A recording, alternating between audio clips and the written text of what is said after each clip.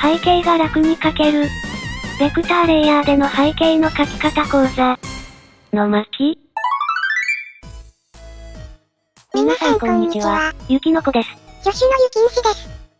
今回はベクターレイヤーについて解説します。えー、今までの動画でもう散々やったよね基本操作は今までの動画でやっと紹介し終えたので、今回からは実践編、背景での使い方というわけなのです。というわけで今回はベクターレイヤーを使って、こちらの背景を描いていきます。おー、街中が吹雪いてて橋の下に一時避難って感じの絵だね。ベクターの説明はもう何度もやってるので、細かいところははしょりながらさっと解説していくよ。えー、まず、ラフをぼんやり描きまして、こんな感じにキャラクターを描いていきました。ん？キャラクター各解説はないんか？今までの動画でやった機能しか使ってないからいいやと思って、キャラクターの大まかなラフをもとに、ちょっと細かいラフ描いてから、改めて本番の線画を描いていきます。今回は要点だけの解説で結構はしょるシーンが多いので、キャラ含めた作画の全工程は後で別の動画でまとめておくので、細かいところで知りたい部分はそちらで確認してください。キャラクターが描けました。プンプンしてて可愛い。背景にパース定規ツールでパース定規を設置して、ラフを整えて、こうなりました。ここから、ベクターレイヤーの背景での活用法を解説していきます。まずはラフのレイヤー分けです。1枚のレイヤーに咲く、端、円形のラフが入っているので、これをベクターレイヤーの複数選択からの切り取りで、レイヤーをパーツごとに分割します。こんな感じに、レイヤーを後から綺麗に切り分けることができます。おー、これはキャラの顔のラフと髪のラフを分けたりするのにも使えそうだね。手前の端を普通にベクターで描きまして、完成へのこの網目みたいな部分、こちらをちょっと工夫して描いていきます。まず溝部分だけ描けるようにレイヤーマスクを作ります。これではみ出しを気にせず描けるね。溝に暗いトーンを貼ってから、レイヤープロパテの縁をオンにして、縁の色を黒にして、縁を少し太くして、描画色を白にします。この状態で直線ツールでパース定規に沿って線を引くとこうなります。おー、一気に描けて気持ちいいねでも奥の方は太すぎて、あんまりパースと合ってない気がするよ。なので、ベクターの複数選択からのオブジェクトツールと、線幅修正ツールと、制御点ツール、線幅の3つのツールで太さを微調整します。ベクターなら後から調整できるから楽だね。縦方向もレイヤーを分けて描いていきます。一度線を引いてから、奥行きに向かって細くなるように、制御点ツール、線幅で細くしていきます。あらかじめ描くものが決まってるなら、こんな感じに正面で描いた素材を変形する方法もあるよ。ほへでもこれはこれで意外と結構難しいから注意ね。次はさっきの網目のレイヤーを縦横それぞれコピペして、ちょっとだけずらして、側面を描いたことにします。ー、おー、か、描いたことにしていいんか？というわけで端の網目が描けました。微調整は必要だけど、一本一本描いて、網目の間にベタ貼ったりするよりは、トータルで早く描けそうだね。次はこんな感じに奥の円形のビルを描いていきます。ちょっとラフを修正して、ビルの曲面を隠した字を作ります。さっきの網目と同じように縁付きのベクターレイヤーに、3次ベジェの曲線ツールで窓枠を描いていきます。パースに沿った曲線を描くのは結構面倒くさいので、調整が効くベクターレイヤーの活躍どころです。縦方向にも窓枠を描いてから、横枠を線幅修正ツールで太くします。先端が丸くはみ出してしまったので、ベクター複数選択で、ブラシ先端の厚さを小さくして、線を帯状に変更します。先ほどの網と同じように、縦横のレイヤーをコピペして少しずらして、側面を描いたことにします。次にもう一回コピペして、ベクター複数選択で、描画色を黒に変えます。黒のレイヤーを窓枠の下にして、これを少しずらして影を描いたことにします。ちょ、ちょっとずるくないですか？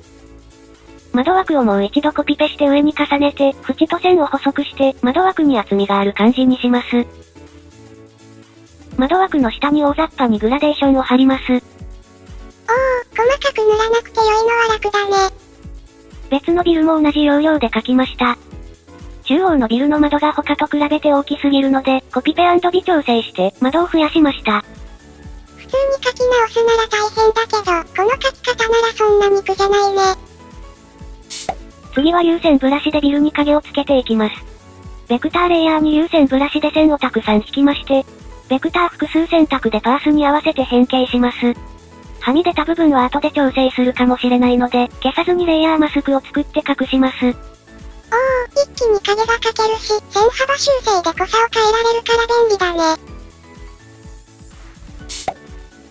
次はこの柵を描いていくのですが、ここで一工夫してみます。このような柵が奥行き方向に圧縮される、パース圧縮柵ブラシシステムを自作しました。おー。多少の変形もできます。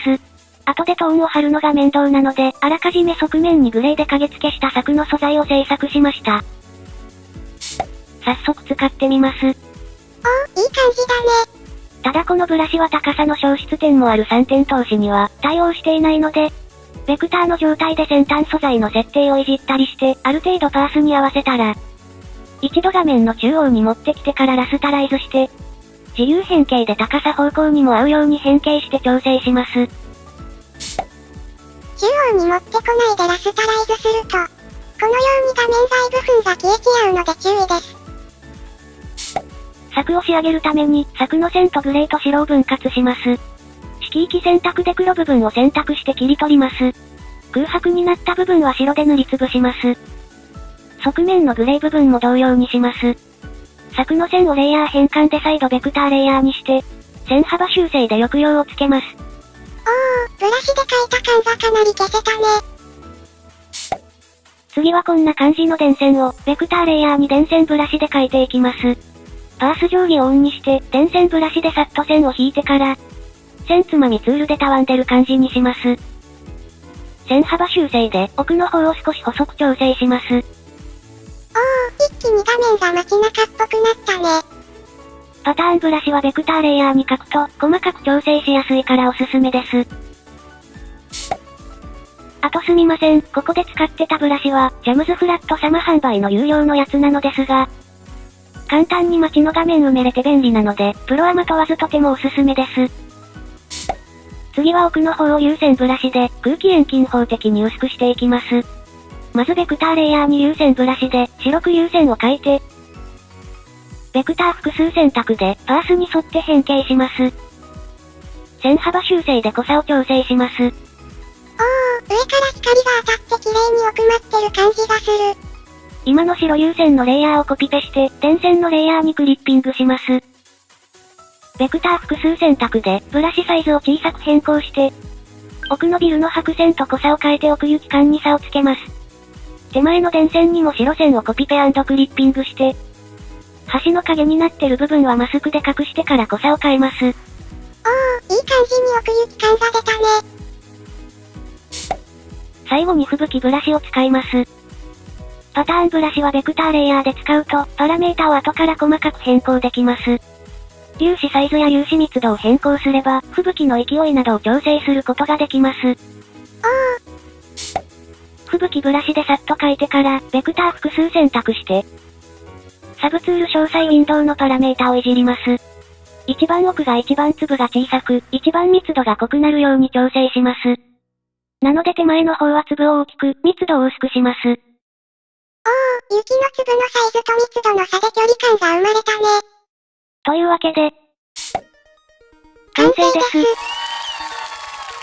以上、背景で便利なベクターレイヤーの使い方講座でした。ベクターレイヤーをもっと使ってみたくなったよ。説明の動画なので、たくさん機能を紹介しましたが、全部使う必要はないので、自分の絵で使えそうな機能だけかいつまんで使ってみたり、いつもの書き方と組み合わせてみたりして試してみてください。今までの動画でベクターレイヤーの機能を紹介したものを再生リストにまとめてあるので、ベクターレイヤーを勉強してみたくな回使ったパース圧縮作ブラシと吹雪ブラシ、有線ブラシは無料で配布してるので、よかったら概要欄のリンクからダウンロードして使ってみてください。ただ作ブラシは若干じゃじゃ馬っていうか使いどころが難しいので、その点はご注意ください。ブラシの先端素材を変えたり、設定を変えたりして、いろいろ遊んでみてください。それではまた次回の動画でお会いしましょう。